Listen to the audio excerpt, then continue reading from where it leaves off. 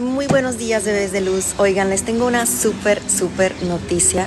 Estoy tomando estas vacaciones porque voy a comenzar nuevo proyecto, como ya se habrán enterado por ahí en algunas redes.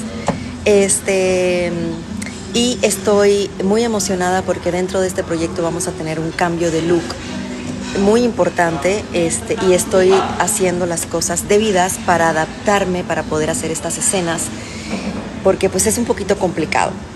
Después se enterarán por qué. Entonces estén muy pendientes porque vamos a tener este cambio de look que les platico. Eh, comenzamos grabaciones ya dentro de una semana.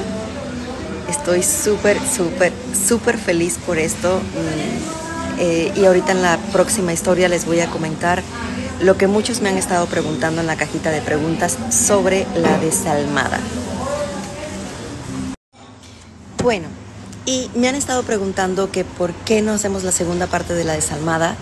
Sí se iba a hacer bebés, pero sucede que todos los actores que forman parte del elenco están ocupados, están haciendo teatro o están haciendo telenovela o algún otro proyecto, algún proyecto personal, entonces reunirlos a todos es un poco complicado. Eh, yo sé que en algún momento se va a hacer la desalmada, tengo fe.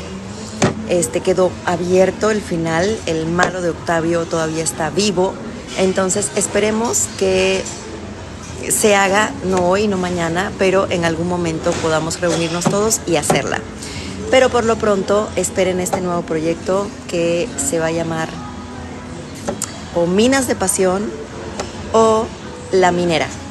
Aquí les voy a dejar cuál desean, cómo se llama.